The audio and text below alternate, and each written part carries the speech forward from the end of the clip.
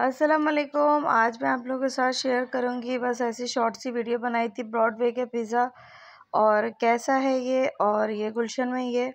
तो मैंने यहाँ का सेकंड टाइम ट्राई किया है। तो चलें स्टार्ट करते हैं।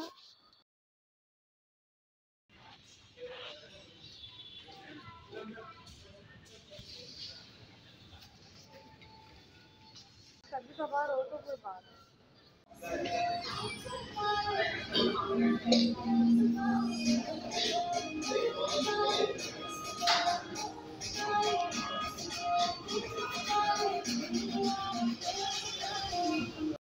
जी तो ये लार्ज पिज़्ज़ा था और उसके साथ डिप थी और केचप था, बस थोड़ी सी चीज़ें थी। इसके मुकाबले में फोर्टीन स्ट्रीट का बहुत अच्छा होता है, उनकी डिप वगैरह काफ़ी ज़्यादा होती हैं और पिज़्ज़ा भी बहुत हैवी बना हुआ होता है। ये देखिए, बस इसमें ये गार्लिक सॉस था। और ये पाउडर फॉर्म में गार्लिक पाउडर था चिली पाउडर था और एक कैचअप था बस। और ये थी ट्वेल्व हंड्रेड की डील थी।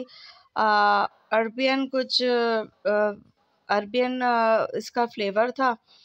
तो देखने में तो अच्छा है बट चिकन फुल लोडेड नहीं थी, क्योंकि हम लोग जो फोर्टीन स्ट्रीट का खाते हैं, उसमें फुल लोडेड होती है। तो वीडियो अच्छी लगी